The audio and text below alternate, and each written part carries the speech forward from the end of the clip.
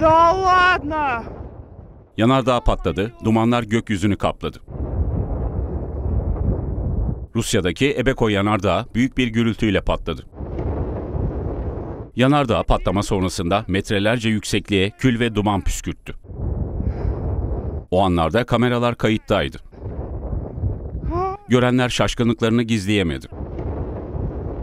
Yetkililer yanardağa 5 kilometreden fazla yaklaşmayın uyarısı yaptı. Kül yağmurlarına karşı maske takılmasını istedi.